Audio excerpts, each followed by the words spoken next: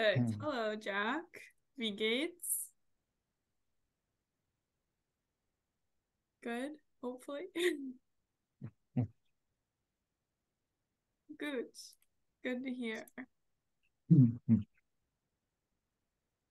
Yeah, I hmm. that a little bit of German. Auch gut. Vielen Dank. Yeah. Yeah. Oh, okay. So, um, I guess with our small but mighty breakout room tonight, I did make a couple of slides again. So I will go ahead and share those. Okay, this is a sneak preview. Excuse me. Okay. Can everybody see my slides? Yes? Thumbs up? Thumbs up. Okay. Uh, Jack and Elena, are you able to unmute this evening? Yeah.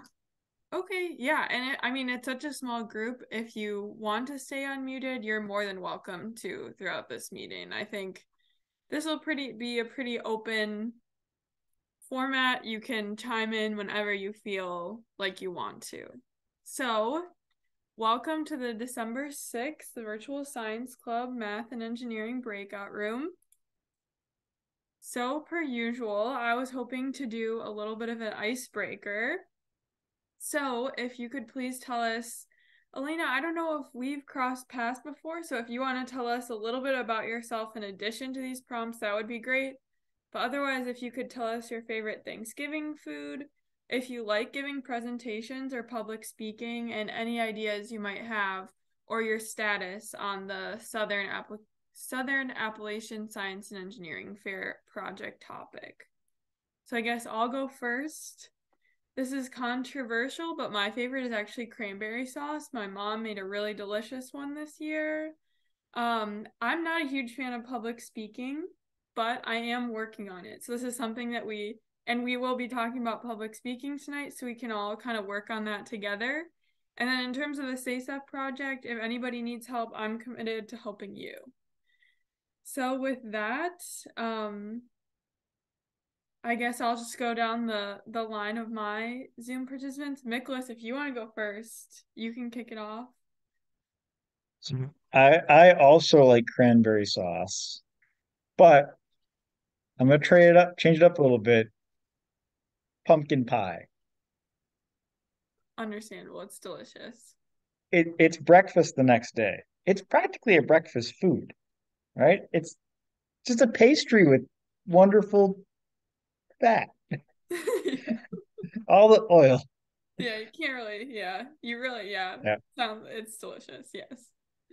Uh, in terms of presentations, at some point, I guess I started liking doing it. I didn't before. For a long time, I wasn't a big fan of it.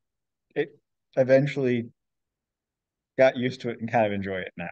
Yeah. Are you like, I don't know, are you still very active on the conference scene or do you are you do you teach classes or do you like where is I the place that you so I do a lot of conferences and workshops, mostly workshops, mm-hmm. um, and short seminars.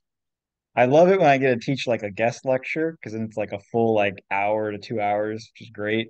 Yeah. Um, and uh, every once in a while, I get to give like an actual like multi-session class, but that doesn't happen as often as it used to.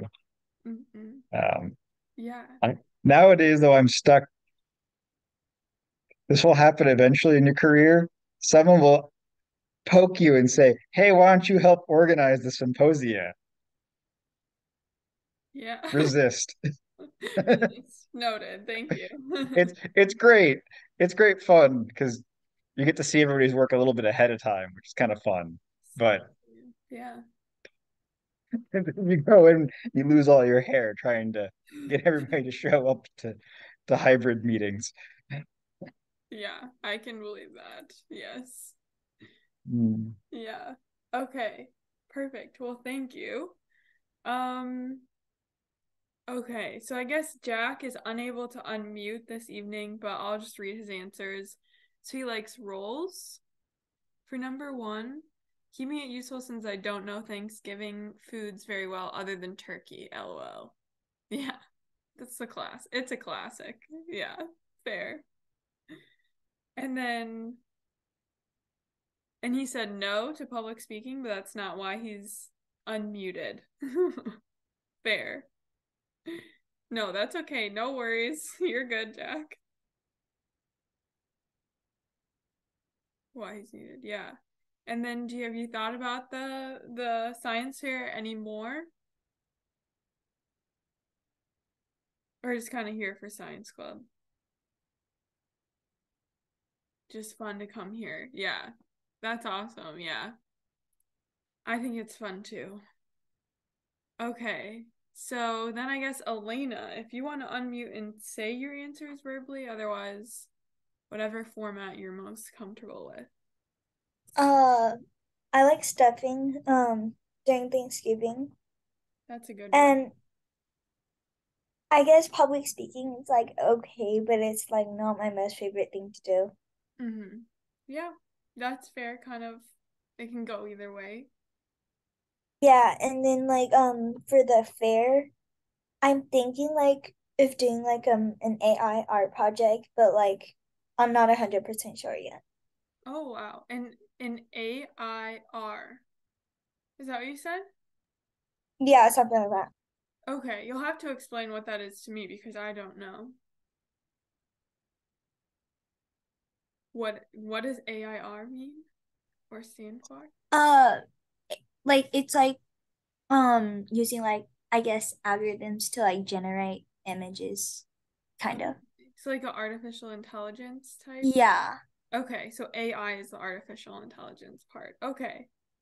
Wow. Well, that's very cool. How are have you started doing that or are you kind of still developing an idea or where, where Yeah, I've kind of started doing that for like um something else, but like yeah. Yeah. Well, I mean, this presentation tonight is geared towards public speaking, but I mean, if you want to talk more about that, I think um, that definitely takes priority. Or if you need any help, you can definitely, um, yeah, reach out. Like we're happy. We're like I said, we're happy and committed to help you out with whatever. So, okay. Uh, with that being said, I guess I'll just keep going. So, um, I I guess just to break things up between our uh icebreaker and our the meat and potatoes of our presentation, just a little fun fact. So have either of you, I guess Jack or Elena, heard of hydroelectric power? And if so, what do you know about it?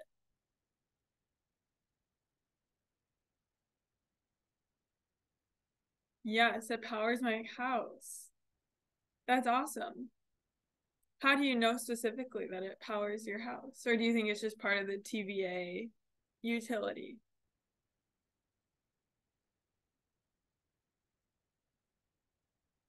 My area is powered by the dam. That's awesome.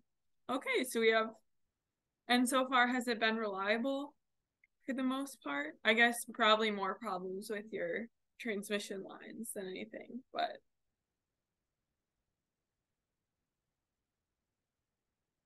okay.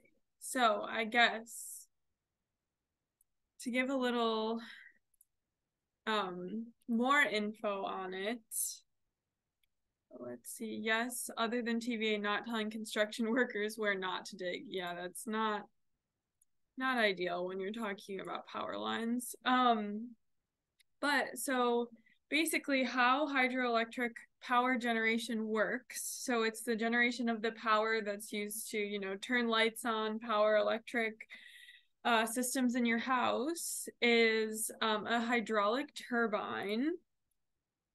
Uh, converts energy of flowing water into mechanical energy. And what you can see on this graphic in the upper left is that a dam is put in place so that you have varying water levels. And then actually the water in this schematic the the method of hydroelectric power generation is through gravity. So that fall, falling water basically creates a flow which turns a turbine. And then a little above it you can see that hydroelectric generator converts mechanical energy into electricity and going in a little bit more on that hydroelectric generator in the turbine configuration. It's all based on uh, what's what was discovered by Faraday, who is a scientist, the Far- uh, the Faraday effect, I believe. And when a so when a magnet moves past a conductor, electricity flows. That's the kind of leading concept of that. And in the case of large generators, like the one on the bottom right, electric electromagnets made by circulating direct current through loops of wire around the stacks of magnetic steel. Oh, okay, sorry. Um, lamination. So actually, so the current or the the magnets on the rotor spin, which then creates current flow through the stator stator part, and then that eventually is transmitted and carried off to the grid. So let's see. Okay.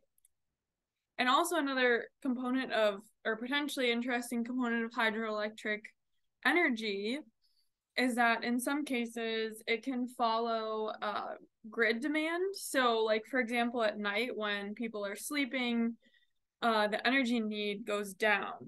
I mean, you're not, you don't have your lights on, you're not actively using devices, you're, um, you know, maybe you turn the temperature of your house down a little bit if you have electric heating. Um, so basically, then that excess electricity can be stored and used to pump.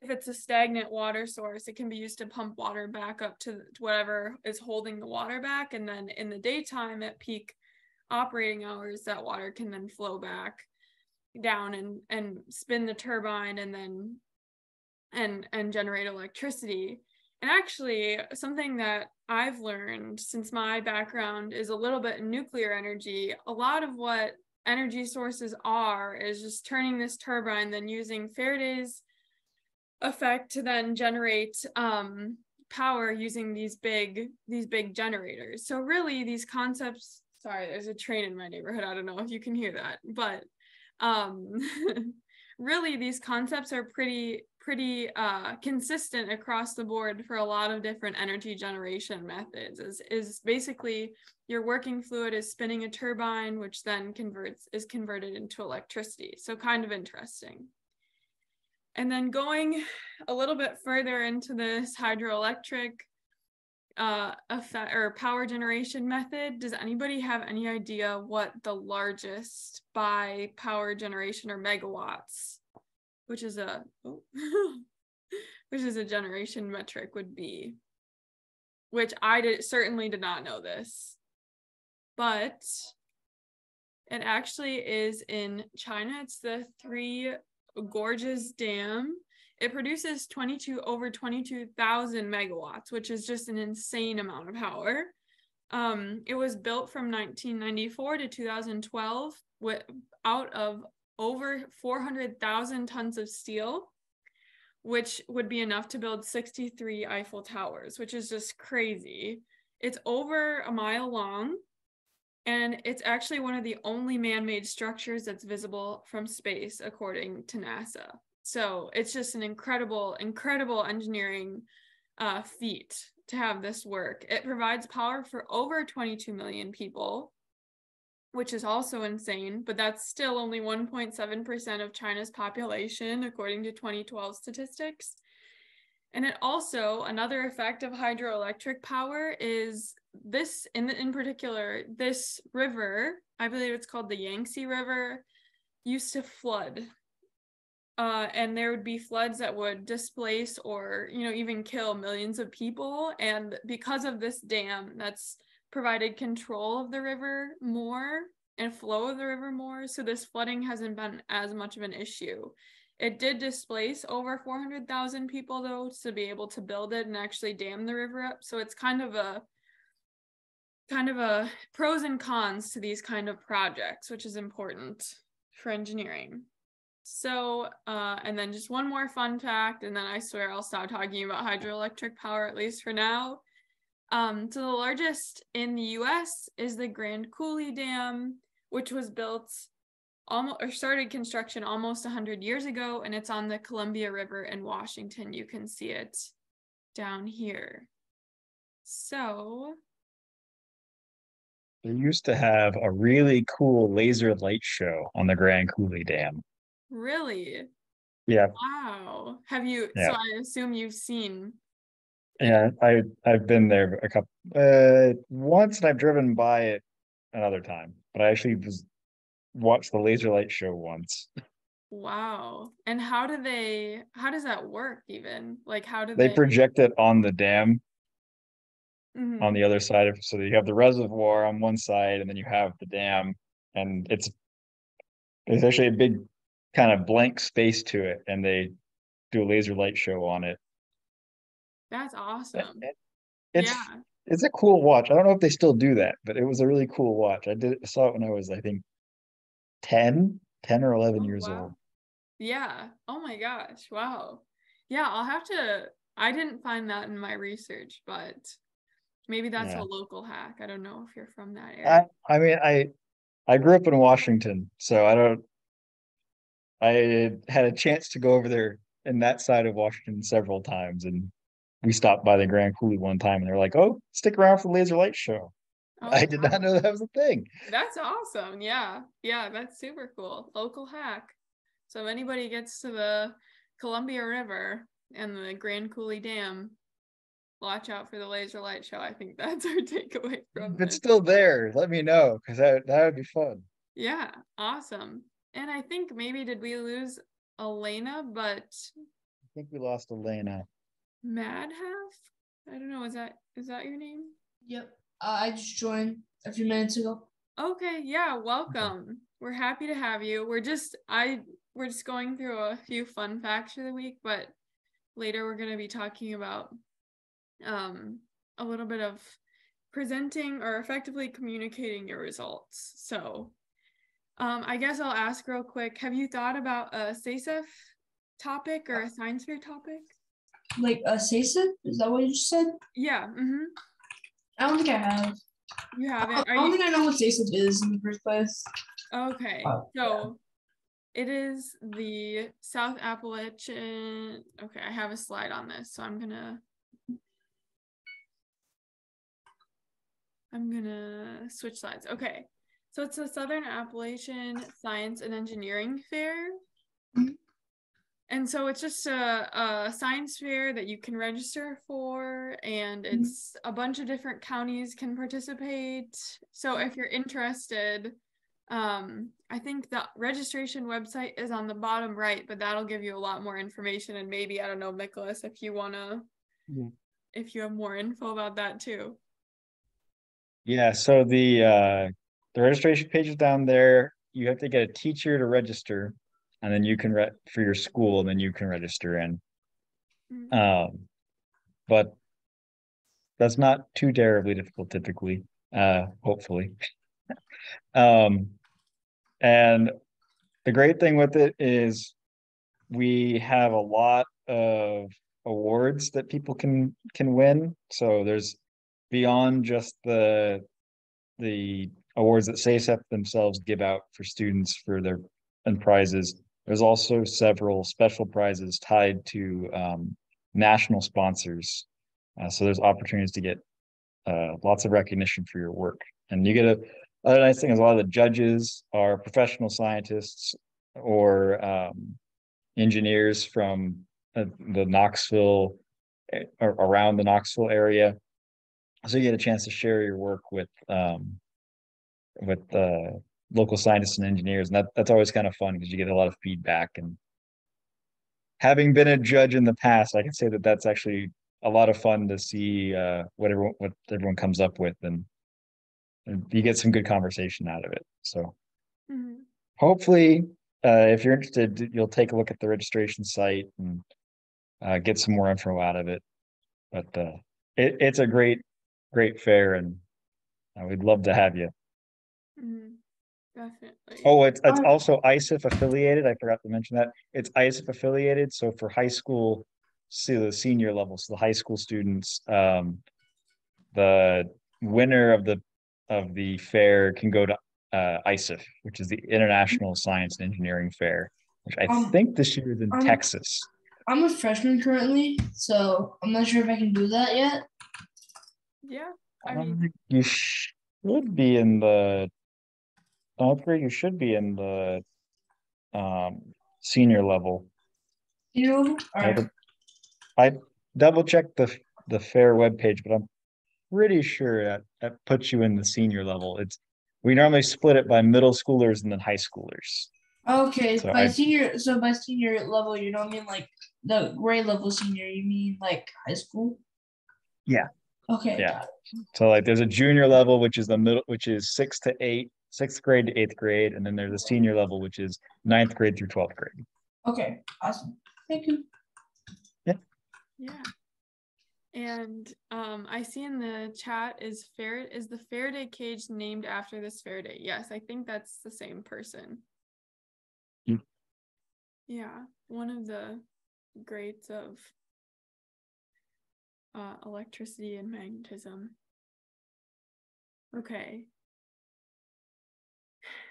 But he had little former tra- or formal training, so that's an inspiration to, to all of us. Excellent experimentalist. Excellent experimentalist. Really struggled with math for like his whole career. Mm-mm. but he was really, really good at doing setting up and designing experiments. Wow. Yeah. It's a good skill to have. Okay.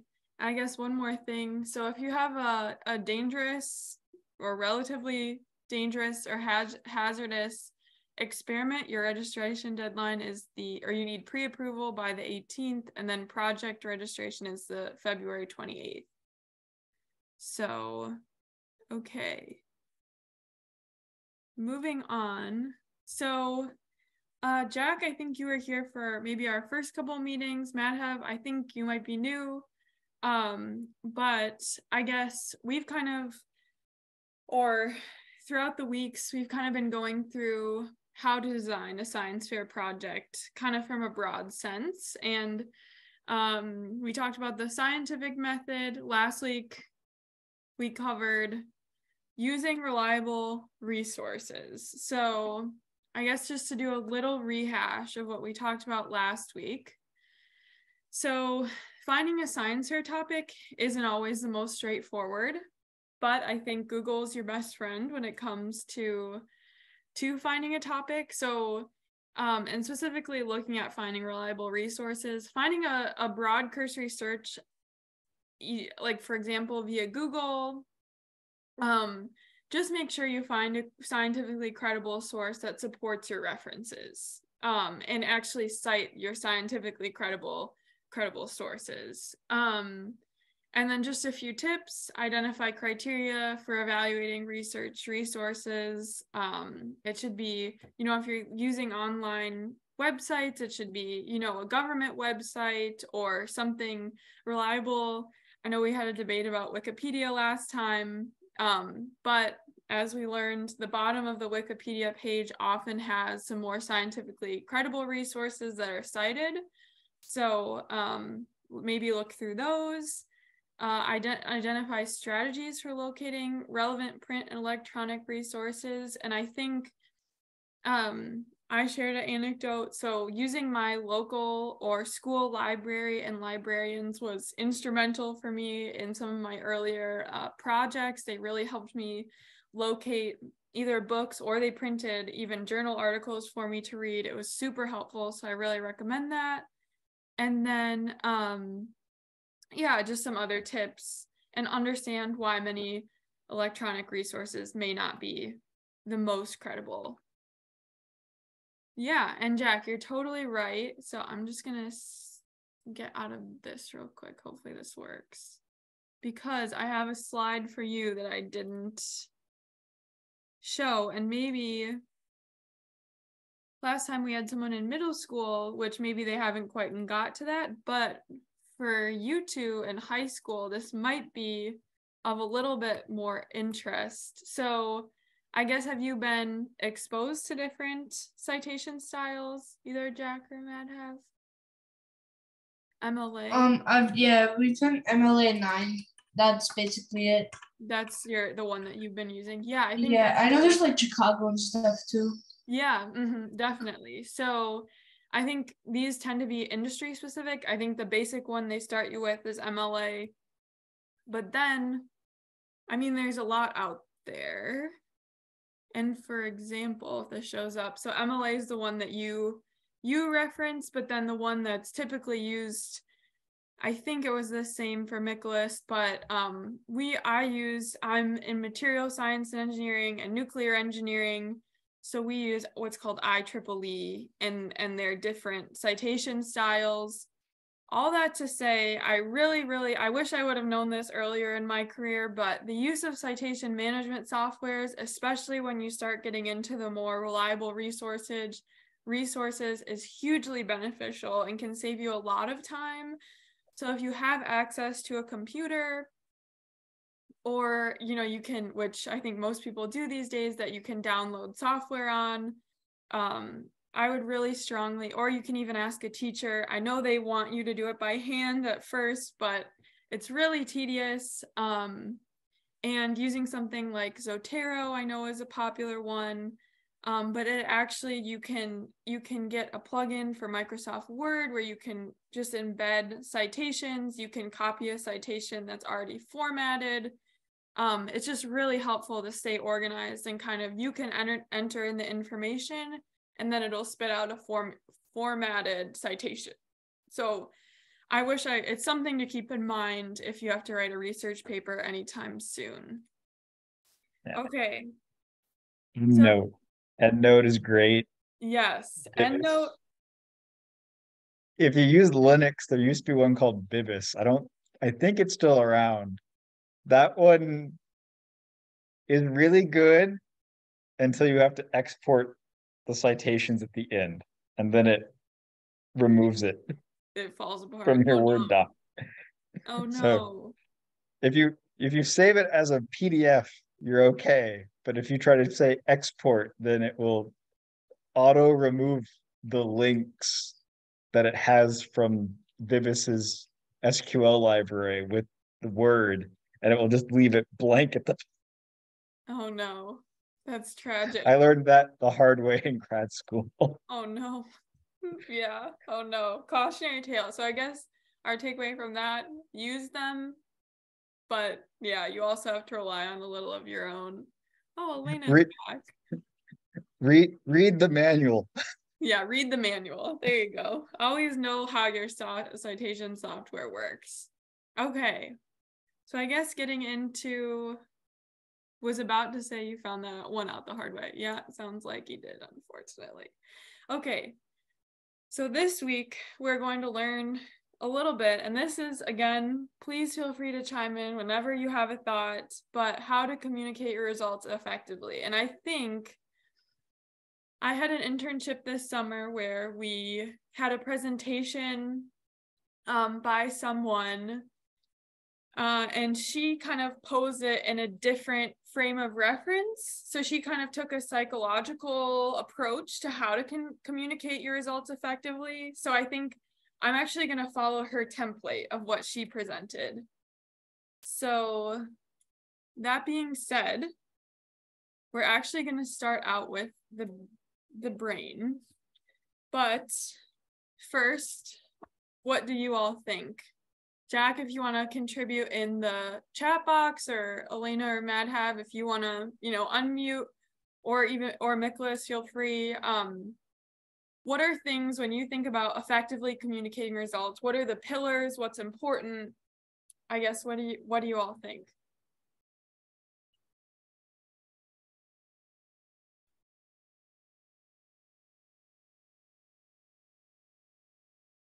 Anybody have any thoughts? Oh, go ahead. One, one clear message per figure.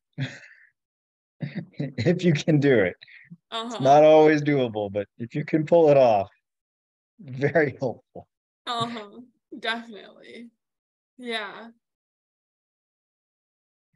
Okay, so I guess Okay, no thoughts as of now. I guess I can just keep going other than yeah, thank you, Nicholas. I think that is a very good point and good lesson just to make that I've definitely tried to make way too com- complicated or way too complicated of graphs in the past and it hasn't gone well.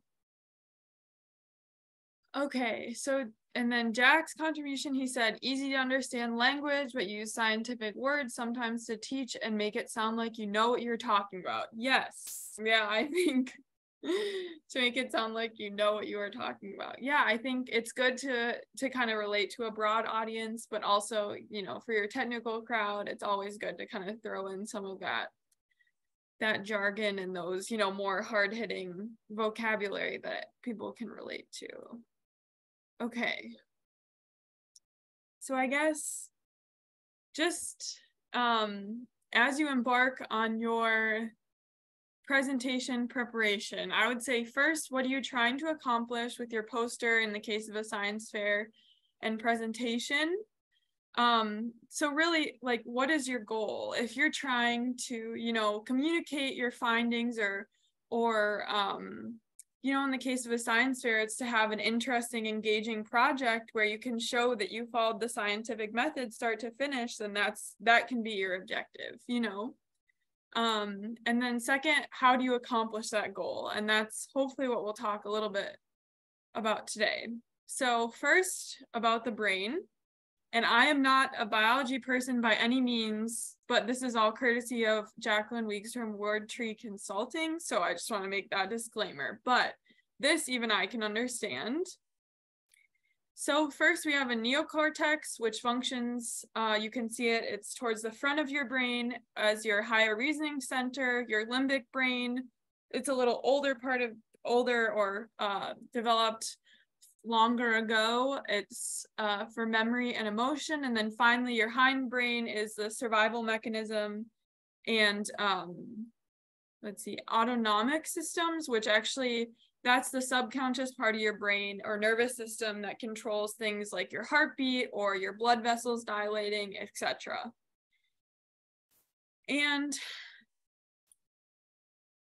as you might expect, your higher reasoning center or your neocortex is going to be the slowest part of your brain and the hindbrain is going to be the fastest so that's your initial reaction it's what helped people stay alive you know millions of years ago and then kind of you know as society has developed we've kind of gained this advancement um, so let's think about appealing to all three of those different functional centers of your brain. And first, let's start with your reptilian brain or hind brain, that first initial initial reaction that people have. Let's say when they come up, when people come up to your say hypothetical or hopefully real in a few months uh, poster presentation or science science fair poster, what what kind of impression do you want to make? Like what what do you think will attract someone to your poster just based off of this hindbrain, this initial reaction, this first impression?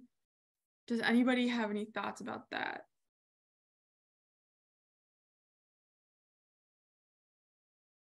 Uh, just to like start some thoughts. Yeah. What to put on your poster? Um, I would think like some flashy letters and stuff. Yeah. Like, and so that everyone can understand it, because it's not just like smart kids at the fair, it's also like common people. So Yeah. maybe involve a bit of like complex language and a bit of simple language. Mm-hmm. Yeah, yeah, Yeah. definitely.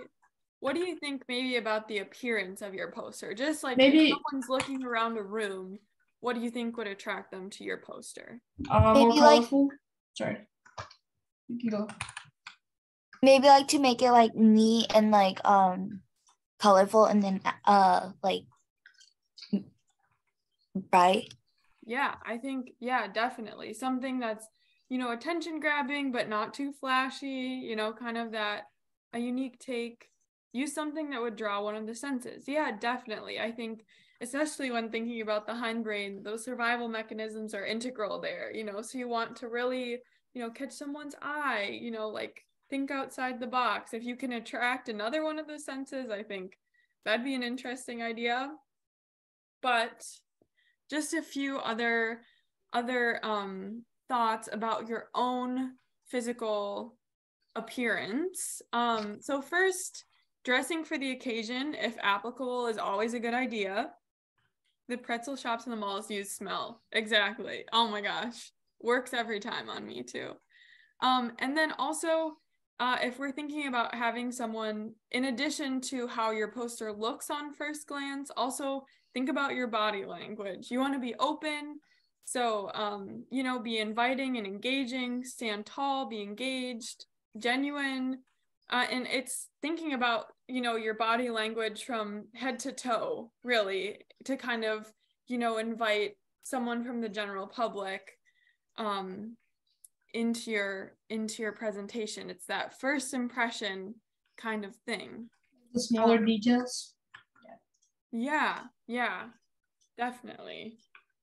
So then um if we I know we're kind of running a little short on time. So then if we move on, appealing to the limbic brain, and this is memory and emotion.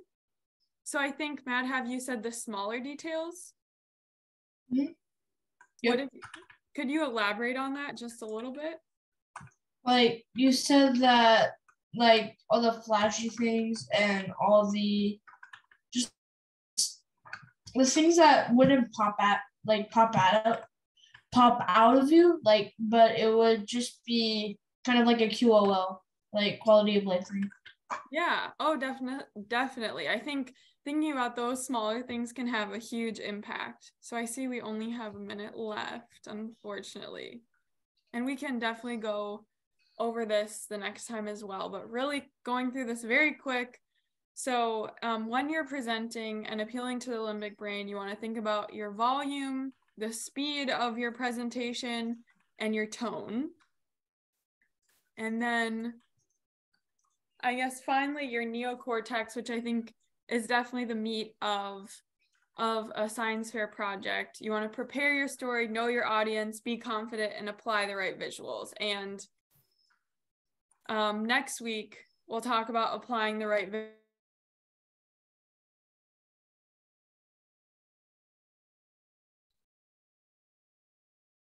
Okay, welcome back, everyone. I'm glad that Emily and Nicholas had a popping room with all of our students in there. Come on, let's share the students point of view. Yay! Yay. Well, I'm Can't glad help it. Emily just she gets them in. She's really good at it. Bravo, Emily. Thank you. I you're think, enjoying the break. yeah, nice, definitely nice. a joint effort. Yeah. No, it's yeah, it was fun. It's fun. You had a brain? You you showed a brain? Well, yeah, I guess we talked about how you can present and appeal to different parts of the brain. Mm. It was an interesting talk that I saw. So. I kind adapted that. You know, maybe maybe we should try to incorporate graduate guest speakers. Mhm. And so, I mean, yeah, food for thought. So Yeah. I think that would be interesting. hmm Yeah, kind of someone in the in between the professional and the and the student between the professional and student stage. Yes. Yes. So you'll so you'll be the first guest speaker then? Um, I mean, if you need someone, sure, I'd. This this is next year, so okay. we're full for this year. So you you're off the hook for a while. or yeah, I have a lot of time to prepare. September 2023. Yes. We have All right. long memories. We won't forget. Right. I'll be in this position for a little bit, so I'll remember. Okay, so let's let's go on to the fun part. Right. Right. So for the three students um, that have or that are in our meeting right now, um, I want all of you to pick a number in your brain, either one, two, or three. And then I want you to either speak your number by unmuting or putting your uh, number in the chat. Ready, go.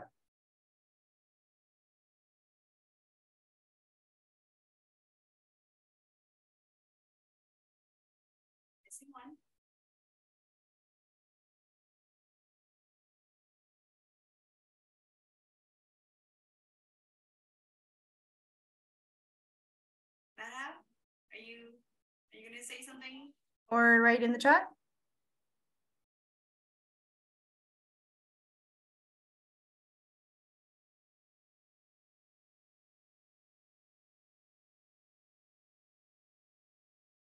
Um, I, I thought this was a great meeting so far. Uh, we just talked about the different ways to bring out your presentation to people. And um, yeah, I joined a bit late. Sorry. That's okay. Um, so what number one, two, or three can you provide for me? Because you have to pick a number one, two, or three. Um, I'll do part three or number two. Number two. Okay. Well, I had three. So Elena, you are our winner for tonight. Yay! Yay. Um, so just just to clarify, um, you've never uh, received a uh, a prize this year yet, right? No, this is um my first time here. Uh, for Oh, this. okay, gotcha. Well, congratulations, your first time here. You get a you get a prize. So, um, of the five prizes on the left side of this screen, um, you'll see um what is available to you. So go ahead and and let us know which one you like. The drum. Of course. Okay. so if you could send an email to prep at utk.edu, we'll need your first and last name and um, home address so that we can send uh, the drone over to you. Okay. Okay, thank you. No problem. Okay. So uh, moving forward, we do have um, several platforms, uh, the newsletter, prep account, the prep Twitter, Instagram, and the SASEF uh, Facebook. um, and so of the three students that are here, can you please let us know what your grade is? Are you in um, middle school or high school? I'm in. Uh, I'm a freshman in high school. Okay. And Jack is also in high school. So, um, Elena, what grade are you in? You're, I think you're in sixth, right? Yeah. Okay. So, of the uh, four other programs we have, uh, we do have um, the science fair and the science olympiad as a middle school and high school program um, and then when you are in high school um, if you're a rising junior or senior you can also apply to governor school um, and then also if you are a uh, junior senior in high school is symposium open to everybody in high school yes it is Yeah, all grades in high school. all grades in high school. So um, that's just something you guys can look forward to. Um, you know, Virtual Science Club is just one of the five uh, pre-college programs you guys can get um, um, introduced to, and um, they're all joint effort through SASEF members here on this board, as well as um, other community partners in in UT. So, Trixie, Trixie, don't some people use the same project Mhm. for Yes. the science fair and for the humanities symposium? Yes, so uh, there have been several students who um, they will present at the symposium and then they'll also present at the SASEF uh, at, at the fair. And um, and a lot of times, I mean, during that time, they do either, you know, do the same, um, I don't want to say same speech, but they do, what's the word? Ensure that Same presentation or. yeah. Yeah. Yeah, it is like it's updated and whatnot. So, but so you don't necessarily have to reinvent the wheel by having four or five different pr- projects. You can always um, apply your project and on to the to the different programs. Um, so our next meeting is December 13th, which is next week. Um, and that will be the last meeting of the 20, I know, of the 2022 year. Um, after this meeting, we will have what? You laughing at me? Me? No, I'm laughing at Jack's comment. Beeline it. Oh, nice, nice. Um, so next week is our last, like I said, last um 2022 um virtual science club meeting. Um, after the 13th, we are going to be on break for Christmas and New Year's, and then we'll see you for the new year um on January 10th. So please, please, please um, come over to our meeting next week. And if you have friends that are interested, please drag them along, parents included, teachers, whomever you want to um, come join us for the meeting. Um, and yeah, and I think it will be a nice way to to end Virtual Science Club for this year. Um, anyone have any closing comments? Augustin, you want to tell them where you are? Well, yeah, that's a good thing of the virtual things now that I am in Argentina, just landed um, Oh, for the wow. break. yeah, we finished classes in Arkansas on December 1st. My last class was on December 1st. So I was able to travel here the weekend and I just landed uh, last night. Have a great Yeah. break. Thank you. yeah, I will. It's 110 out here. Oh wow. Wow. Yeah. But no humidity, right? No, pretty low, 30%. Bad. Yeah. And time zone didn't change too much, right? It's like what an hour different Well, or it's two hours? 10 now. It's about to be 10 o'clock. It's two hours ahead. Two hours. That's not Yeah, terrible. it's pretty it's pretty vertical. Yeah. Yeah, small amount of jet lag. Yeah, yeah, not that bad. Yeah. Thank you. All right, well, that concludes our meeting tonight. So thank you, students, for stopping by. Um, stay safe, stay warm, and we hope to see you next meeting. Good night. Good night. Thank-